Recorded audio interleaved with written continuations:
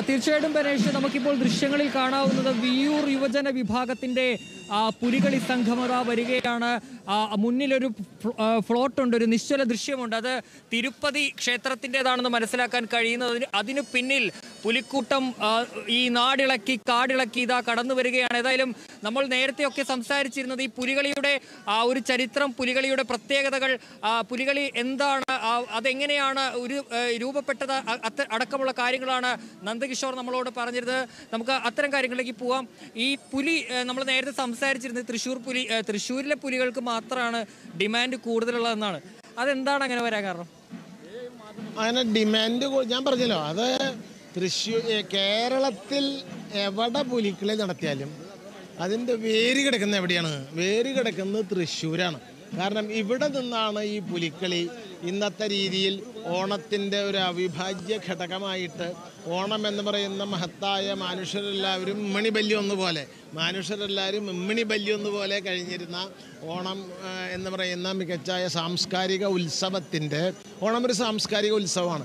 അതിന്റെ അതിന്റെ ഉൽപ്പത്തി എന്തായാലും ശരി അതിനെക്കുറിച്ചുള്ള അഭിപ്രായങ്ങൾ എന്തായാലും ശരി അതിനെയൊക്കെ ഉല്ലംഘിച്ചുകൊണ്ട് ഓണം മനുഷ്യനെ ഒരുമിപ്പിക്കുന്ന ഒരു ഉത്സവമായി മാറിക്കഴിഞ്ഞു. ആ ഉത്സവത്തിന്റെ ഏറ്റവും ശ്രേഷ്ഠമായ തൃശ്ശൂർ നടക്കുന്ന അതിൽ അതിലേക്ക് തൃശ്ശൂരിന്റെ ഒരു അനർഘമായ സംഭാവനയാണ് ഈ പുലിക്കളി.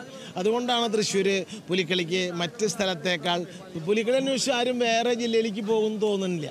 വള്ളംകളി ചില പ്രത്യേക ജില്ലകളിൽ മാത്രമായിട്ടാണ് നടക്കുന്നത്. അപ്പോൾ അത് അതിന്റെ ആ നാടിന്റെ സാംസ്കാരിക സ്വത്വം വിളംബരം ചെയ്യുന്നതാണ്. അതുപോലെ തൃശ്ശൂരിന്റെ സാംസ്കാരിക സ്വത്വം വിളംബരം ചെയ്യുന്ന പൂരമുണ്ട് തീർച്ചയായിട്ടും ഉണ്ട് അതിനോടൊപ്പം തന്നെ ഇപ്പോൾ പുലിക്കളി എല്ലാവിധ ജനവിഭാഗങ്ങളും കൈമേയി മറന്ന് പങ്കെടുക്കുന്ന ഒരാഘോഷമാണ് പുലിക്കളി. ഇപ്പോൾ നമ്മുടെ എം എസ് ബനേഷ് നമ്മുടെ ആങ്കർ പറയായിരുന്നു ഈ പുലിക്കളി എനിക്ക് ചോദിക്കാനുണ്ട്. ആന്റണി അത് കേൾക്കുക. പക്ഷെ ആന്റണി ഇപ്പോൾ നന്ദകിഷോറിനോട് ചോദ്യം ചോദിച്ചുകൊണ്ടിരിക്കുകയാണ്. ഞാൻ ചോദിക്കുന്ന ചോദ്യം കേട്ടില്ല എന്നും വന്നേക്കാം. ചോദിച്ചോളൂ. ഞാൻ ചോദിച്ചതാണ്. അതായത് ഈ പെയിന്റ് വെറുതെ കാണുന്നവർക്ക് ഒരു മുഖംമൂടിയും വെച്ച് പെയിന്റ് അടിച്ച് നടത്തുന്ന ഒരു കലാരൂപം മാത്രമായിട്ടാണ് ചില സാധാരണക്കാർക്ക് തോന്നുക എന്ന് പറയുന്നത്. അത് അങ്ങനെയല്ല എന്നാണ് നമ്മുടെ എക്സിക്യൂട്ടീവ് എഡിറ്റർ പറഞ്ഞത്. അങ്ങനെയല്ല. അപ്പോൾ പുലിക്കളിക്ക് നമ്മൾ ഇതിന്റെ ആളെ നരനെ നരിയാക്കുന്ന ഒരു പ്രോസസ്സ് ഉണ്ട്. ഇത് ഞാൻ നേരത്തെ പറഞ്ഞല്ലോ പുലിക്കളിയല്ല പുലി കെട്ടിക്കളിയാണ്. അപ്പോൾ പുലി വേഷം കെട്ടണം. എങ്ങനെയാണ് പുലിവേഷം കെട്ടണമെന്ന് നമ്മൾ പകലെ ഒരു പുലിമടയ എന്ന് പറയുന്ന അല്ലെങ്കിൽ പുലികൾ വേഷം കെട്ടുന്ന സ്ഥലത്ത് പോയി നോക്കിയാൽ നമുക്ക് മനസ്സിലാവും. അവരെ ശരീരം മുഴുവൻ ആദ്യം ഷേവ് ചെയ്യും. ഷേവ് ചെയ്തിട്ട് രോമം മുഴുവൻ കളയും. എന്നിട്ട് പെയിന്റ് അടിക്കണം. പെയിന്റ് അടിക്കുമ്പോൾ ഒരു ചെറിയ ജെട്ടിയുടെ വലിപ്പമുള്ള ഒരു തോർത്ത് മാത്രം എടുത്തിട്ട് രണ്ട് കയ്യിലും വടി പിടിച്ചിട്ടാണ് ആൾ നിൽക്കുക. അല്ലാതെ അധികം നേരം അങ്ങനെ നിൽക്കാൻ പറ്റില്ല. അപ്പോൾ ആൾക്ക് ക്ഷീണം വരും. രണ്ട് കയ്യിലും വടി കുത്തി പിടിച്ച് ഒരാൾ ഒരാളാണ് നിൽക്കണം ആർട്ടിസ്റ്റ്. ആർട്ടിസ്റ്റ് നിന്ന് അദ്ദേഹത്തിന്റെ മേലും മുഴുവൻ വളരെ മനോഹരമായ രീതിയിൽ കാണുന്നവർക്ക് മനോഹരമാണെങ്കിലും മറ്റേയാൾക്ക് ലേശം മസ്കിതൊക്കെ ഉണ്ടാവുക നമുക്ക് അതിന്റെ അതാണ് ഞാൻ പറഞ്ഞത്. മെയ്യ് മെയ്യിന്റെ കലയാണത്. അപ്പം മെയ്യിനെ പെയിന്റ് അടിച്ചിട്ട് അല്ലെങ്കിൽ ചായം തെച്ചിട്ട് എന്താക്കി മാറ്റണം? പുലിയാക്കി മാറ്റണം. അത് വളരെ ക്ലേശകരമായ വളരെ അധ്വാനം ആവശ്യപ്പെടുന്ന വളരെ ക്ഷമ ആവശ്യപ്പെടുന്ന വളരെ ആരോഗ്യം ആവശ്യപ്പെടുന്ന ഒരു ഒരു ഒരു പ്രോസസ്സാണ് ഈ നരിയായി മാറുന്നത്. കഥകളിക്ക് ചുട്ടി കെട്ട് കുത്തുന്ന പോലെ തന്നെ അതിനേക്കാൾ ക്ലേശകരമാണ് കാരണം എന്താ വെച്ചാൽ അതിൽ മുഖത്ത് മറ്റേ മേത്ത രോമം അടിക്കലൊന്നുമില്ല കഥകളി ഇത് രോമം അടിച്ച് പെയിന്റ് ദേഹത്ത് അടിക്കുകയാണല്ലോ അപ്പം അത്തരത്തിൽ ഉള്ള ക്ലേശകരമായൊരു പ്രക്രിയയിലൂടെയാണ് ഈ നരൻ നരിയായി മാറുന്നത്. കഴിഞ്ഞില്ല. അത് കഴിഞ്ഞാൽ ഈ അതൊരു ഒമ്പത് മണി പത്ത് മണി പതിനൊന്ന് മണിക്ക് ഇത് കഴിയും. പിന്നെ പുലിക്കളി ശരിക്ക് ഔദ്യോഗികമായിട്ട് സമയം കൊടുത്ത പ്രകാരം തുടങ്ങുന്നത് ഉച്ചതിരിഞ്ഞ് നാല് മണിക്കാണ്. അതുവരെ ഈ വേഷം കെട്ടി നിന്ന് മര്യാദയ്ക്ക് ഇരിക്കാനൊന്നും വലിയ ഒക്കെ ചായം തെച്ചിക്കാവും അങ്ങനെ എനിക്ക് ഇരിക്കാം. എന്തെങ്കിലും ഭക്ഷണമൊക്കെ കഴിക്കാം. എന്നിട്ട് പിന്നെ കളിക്കണം. ഈ ജനങ്ങളുടെ മുമ്പിൽ ഇത് കളിക്കണം. ഞാൻ നേരത്തെ പറഞ്ഞ പോലെ കൊട്ടും പനം തേങ്ങയും. എനിക്ക് ചായം തേക്കാത്തതുകൊണ്ട് കളിക്കാൻ എളുപ്പമാണ്. പക്ഷേ മറ്റൊരു ചായം തേച്ച് കളിക്കണം. അത് രസി ജനങ്ങളെ രസിപ്പിക്കണം. അങ്ങനെ സംഗതി ഉണ്ട് ജനങ്ങൾ ഇത് കാണാൻ വന്നിരിക്കുന്നത് ആർട്ടിസ്റ്റ് അനുഭവിക്കുന്ന കഷ്ടപ്പാട്. ഒരു സിനിമ കാണുമ്പോൾ ആ ഇവിടം പോറ് എന്ന് പറയുമ്പോൾ ആ പടം എടുക്കാനുള്ള അധ്വാനമുണ്ട്. അത് ഞാൻ ചിന്തിക്കില്ല. അത് ഞാൻ അത് വിഷയമല്ല. പ്രേക്ഷകരുടെ ശ്രദ്ധയിലേക്ക് കൂടി ഒരു കാര്യം ഓർമ്മിപ്പിക്കേണ്ടതുണ്ട്. നമ്മോട് സംസാരിച്ചു കൊണ്ടിരിക്കുന്ന സരസമായി സംസാരിച്ചു കൊണ്ടിരിക്കുന്ന നന്ദകിഷോർ ചാക്യാർ വളരെ പ്രശസ്തനായ സിനിമാ നടനാണ്. പലർക്കും അദ്ദേഹത്തെ തിരിച്ചറിയാൻ കഴിയുന്നുണ്ടായിരിക്കും. വളരെ പ്രധാനപ്പെട്ട വേഷങ്ങൾ ചെയ്തിട്ടുള്ള നടനാണ് അദ്ദേഹം. അതുകൊണ്ട് തന്നെ ഇനി ലഭിക്കാനിരിക്കുന്ന വേഷങ്ങളിൽ ഒരു വേഷം എന്ന് പറയുന്നത് ഒരു പുലികളി കലാകാരന്റെ വേഷം കിട്ടിയാൽ ഏറ്റവും ഏറ്റവും സന്തോഷമാകുമോ എന്ന് അദ്ദേഹത്തോട് ചോദിക്കുക. കഴിഞ്ഞിട്ടില്ല. തീർച്ചയായും ഒരു ചോദ്യം നമ്മുടെ ആങ്കർ ചോദിക്കുന്നത് ഈ ഒരുപാട് വേഷങ്ങൾ ഇപ്പോൾ സിനിമയിലൊക്കെ ചെയ്തിട്ടുണ്ട്. ഒരു പുലികളിക്കാരന്റെ വേഷം കിട്ടിയാൽ ചെയ്യുമെന്നാണ് പുലികളിക്കാരന്റെ വേഷം കിട്ടിയാൽ ചെയ്യും. പക്ഷെ മേത്ത് പെയിന്റ് അടിക്കാൻ ഞാൻ സമ്മതിക്കുമ്പോൾ എനിക്ക് രണ്ടു പ്രാവശ്യം ആലോചിക്കേണ്ടി വരും. അതുകൊണ്ടാണ്. പരീക്ഷ അതിന് ഉത്തരം കേട്ടുമായിരിക്കും എന്ന് വിശ്വസി- വിശ്വസിക്കുന്നു. അതെ അതെ. പുലികളി അടക്കമുള്ള വേഷങ്ങളൊക്കെ ചെയ്യാൻ നല്ല പ്രാഗൽഭ്യമുള്ള നടനാണ്.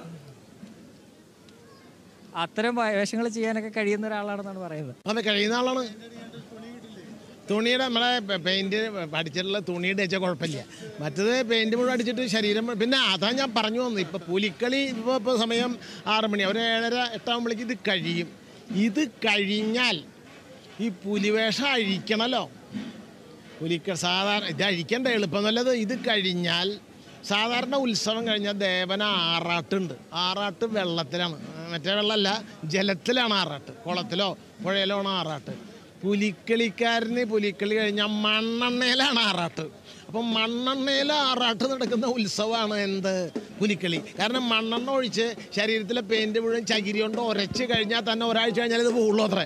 അപ്പുറം മാത്രം ഈ പോസ്റ്റ് പുലിക്കളി. അതെ സിനിമയുടെ പോസ്റ്റ് പ്രൊഡക്ഷൻ പോലെ pre Pulikali Pulikali post Pulikali. Post പുലിക്കളിയിൽ വലിയ കഷ്ടപ്പാടുണ്ട്. മണ്ണെണ്ണയിൽ ആറാട്ട് നടത്തിയത് മുഴുവൻ കഴുകിക്കളാണ് അപ്പോൾ അത്രമാത്രം കഷ്ടപ്പാട് ഉള്ള ഒരു കലയാണ് ഈ പുലിക്കളി. അതാണ് അങ്ങനെ ഈസി ആയിട്ട് നമുക്ക് തലികളയാൻ വലിയ അർത്ഥം.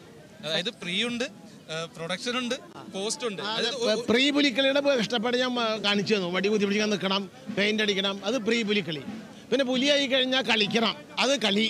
അപ്പോൾ പ്രീ ഡ്യൂറിങ് ആൻഡ് പോസ്റ്റ് കഴിഞ്ഞാൽ മണ്ണെണ്ണയിൽ ആറാട്ട്. ഇത് കംപ്ലീറ്റ് കഷ്ടപ്പെടാം. ആളുകൾ പ്രേക്ഷകർ അല്ലെങ്കിൽ എന്താ പറയുക വന്ന് നിൽക്കുന്ന ആളുകൾ കാണുന്നത് ശരിക്കും ഈ പറഞ്ഞ അഞ്ചു മണി മുതൽ ഈ എട്ട് മണി വരെ അല്ലെങ്കിൽ ഒൻപത് മണി വരെയുള്ള സമ്മാനദാനം വരെയുള്ള ഒരു കഷ്ടപ്പാടും ഇതിന്റെ രസവും മാത്രമേ ഉള്ളൂ. വാസ്തവത്തിലെ മീഡിയ ഒരു കാര്യം കൂടി ചെയ്യണം. അതെന്താ വെച്ചാലേ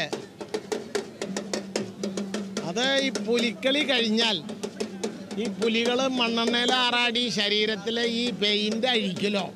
ഈ പെയിന്റ് അഴിക്കണ കാര്യം ഷൂട്ട് ചെയ്ത് കാണിക്കണം. കളി മാത്രം കാണിച്ച പോരാ. കളി മുഴുവൻ കാണിച്ചു ഗംഭീര ആ ഗംഭീര തർക്കമൊന്നുമില്ല പക്ഷെ ആ ഗംഭീരാക്കാൻ വേണ്ട കലാകാരന്മാർ അനുഭവിച്ച കഷ്ടപ്പാട് ജനങ്ങൾക്ക് കാണിച്ചു കൊടുക്കാൻ ഇവരെ എങ്ങനെയാണ് ഈ മേക്കപ്പ് അഴിക്കണം എന്നുള്ളത് ഓരോ സ്ഥലത്ത് പോയി ഷൂട്ട് ചെയ്ത് കാണിക്കേണ്ട ഒരു മാധ്യമധർമ്മം കൂടി ഉണ്ട് അതെ ആ കലാകാരന്മാരുടെയും കലാകാരികളുടെയും കഷ്ടപ്പാട് തുറന്നു കാണിക്കുന്ന രീതിയിലുള്ള മാധ്യമധർമ്മം കേരള വിഷൻ ന്യൂസും അത് നിറവേറ്റുക തന്നെ ചെയ്യുമെന്ന് സൂചിപ്പിക്കാം. എന്തായാലും നാലാം ഓണനാളിൽ ഈ സായാഹ്നത്തിൽ പുലികളി നടന്നുകൊണ്ടിരിക്കുന്നതിന്റെ തത്സമയ സംപ്രേഷണമാണ് കേരള വിഷൻ ന്യൂസിലൂടെ പ്രേക്ഷകർ കണ്ടുകൊണ്ടേയിരിക്കുന്നത്. ഈ പുലികളി അവസാനിച്ച് അതിന്റെ അവസാനത്തെ പുലികളിക്കാരനും പോയതിന് ശേഷമേ ഈ സംപ്രേഷണം നമ്മൾ അവസാനിപ്പിക്കുകയുള്ളൂ. അതുവരെയും പുലികളി സംപ്രേഷണം തുടർന്നുകൊണ്ടേയിരിക്കും. ഇപ്പോൾ നമ്മൾക്ക് തിരികെ വരേണ്ടതുണ്ട്. അതിനു മുൻപ് ഒരു ഇളവേളയിലേക്ക് പോയിട്ട് തിരിച്ചെത്താം.